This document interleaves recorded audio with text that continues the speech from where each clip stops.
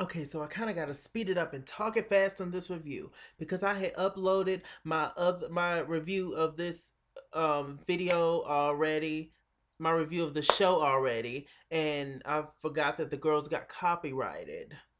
I'll tell you about this shit in another review, but I'm just gonna go ahead and get to it. Um, I'm a little upset because I have to do this over again, but here we go. Boom, cat, let's go.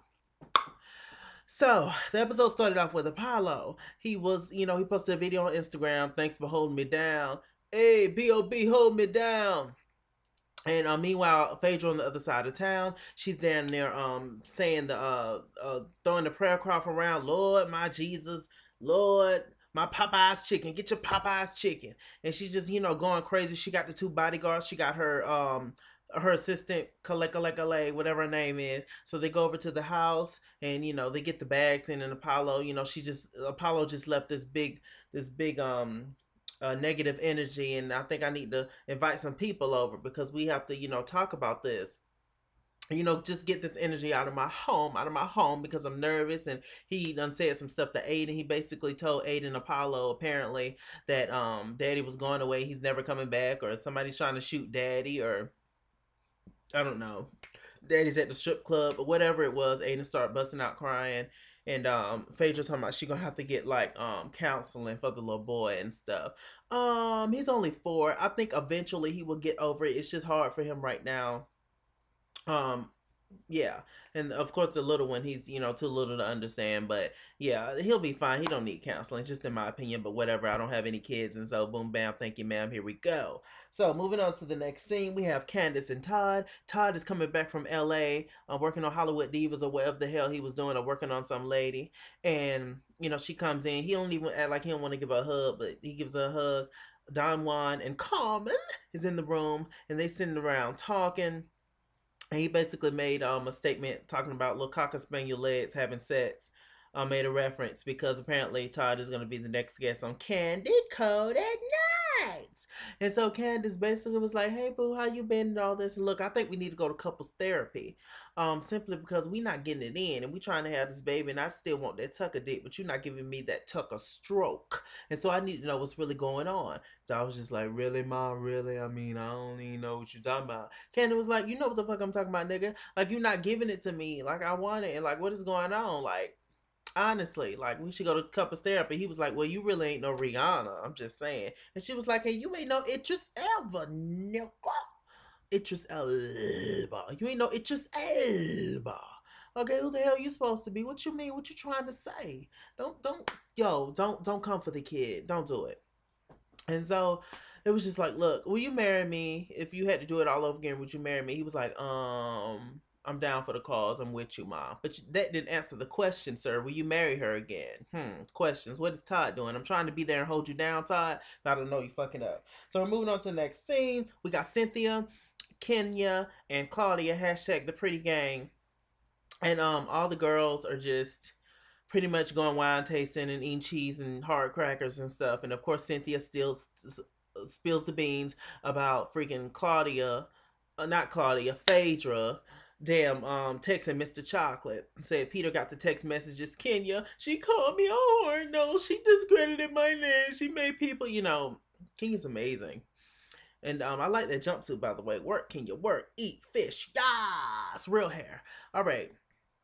So um, they send around and they're talking, and Kenya's showing out, and Cynthia comes over and consoles her, and basically Kenya stopped crying. She was like, "Well, is it true? Do we do we know for a fact that this shit is true?" And she was like, "I don't know, but all I know is Peter got the he, Peter saw the actual printed out text messages. You know, I didn't or whatever. So it's like, okay, whatever." So um, Kandi goes over to talk to Phaedra. Apparently, Kandi haven't really been talking to Phaedra like that, but Kandi has her own shit going on. Kandi's trying to see if her man she know her or not, and so she got her own things going on. She ain't got time to be bothered with um Phaedra and and all this going on with over there at their household. All you can do is pray for the girls at this point and keep it moving. Um, so Phaedra's a little salty about that. She brings up the fact that Nene is actually her rock, been her rock through this whole damn situation. Goodbye, Linnethia. And Kandi was like, look, you can do what you want to do. You're a grown praying woman, but I take Linnethia Leakes and baby steps. And she was like, why would she say that? You know, I don't know, um, Phaedra, because like a couple of seasons ago, Nene claimed that she didn't even know who the hell you were prior to the Real Housewives of Atlanta basically she talked down to you and basically made it seem like you was beneath her. She was really hateful to you. And all of a sudden y'all best friends. It's a sad day when Linnethia Leakes and Phaedra Parks are good friends because ain't nobody fucking with Nene. That's the real tea. Nene ain't got nobody to hang with. Remember when it was the small against the talls? It's so interesting how tides change. And this is very interesting. Karma something, I tell you. And so Kandi was just like, okay, um, whatever. So uh, Phaedra invites uh, the people over there to bless the house to get all the demons, the bad demons out the house. And they looking like um, Djimon Hounsou, the man in 20 years. And um, the woman looking like um, Diahann Carroll Eve Bayou, pineapple thief. So you know, they come over and bless the house, and little Ayden boy, he offered them a cracker. I don't eat sweets. You don't be that mean to no damn child, sir. So um uh let's get straight to the um sit down session that last um scene. So all the girls are sitting down, they're having moments.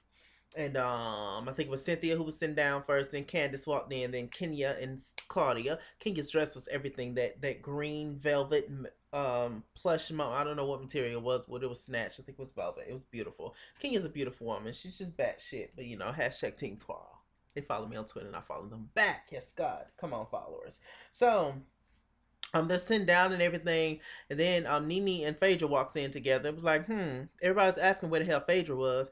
Porsha ain't heard from her. Candiace ain't heard from her. And it was just like Phaedra was knuckling it up with Linnethia. Very interesting once again.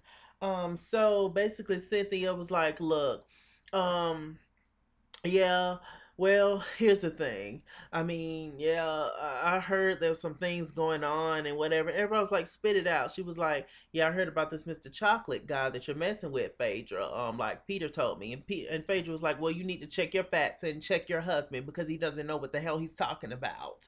Okay, I'm not sleeping with no Mr. Chocolate. And, you know, these are text messages from Apollo. Mm-hmm, the same way he lied about apparently the text messages between him and Kenya. And of course, why does she have to say Kenya? That just gives Kenya the opportunity to jump in. She's gonna jump in anyway. It's just what she does. Makes good TV. And Kenya jumps in. She was like, "No, yes, you did." And who's Mr. Chocolate? How would you know? Hmm, he's the man you're sleeping with. Long behold, Phaedra gets up, she takes her clutch and she get ready to pop Kenya, but she thinks about it. She was like, no, wait a minute, wait a minute. I'm not going to do it. I know I'm not. I'm going to put it in the hands of the Lord and I'm going to go on. That's what I'm going to do.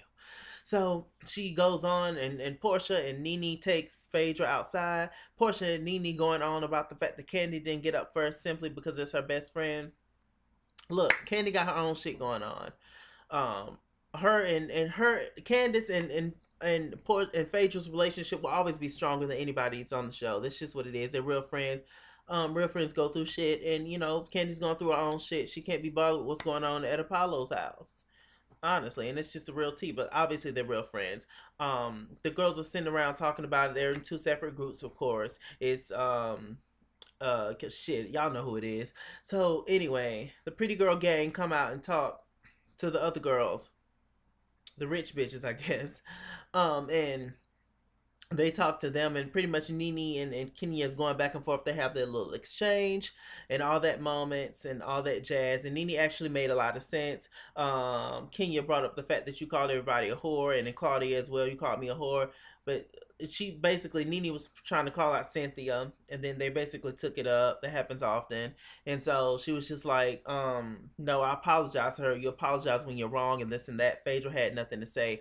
Um, I do understand why Kenya would get upset and have something to say about this, simply because Phaedra did kind of give her hell but also, Kenya brought some of that on herself because she played into the lie.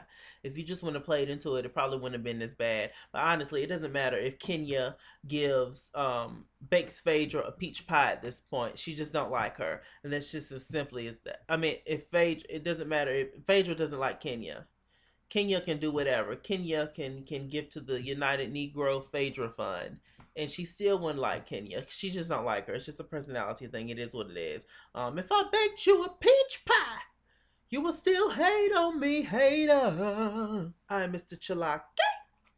Mr. Chalaki on Google Plus. Follow me at It's King's World on Twitter. Chase King was here on Facebook and all that jazz. The reason why I'm talking so fast is because the girls only got 15 minutes to talk. And y'all know that I'm a talker. Most of my videos, especially my reviews, usually be between like 15 to 30 minutes long. Sometimes more if I have more to say, but I don't. And um, yeah, I'll talk about that in another video, but I have to go. Darling, I'm back. I'm doing the best that I can. Got some more reviews to catch up on and all that. I love you. Subscribe, like, comment at It's King's World, all that. Love you. Bye.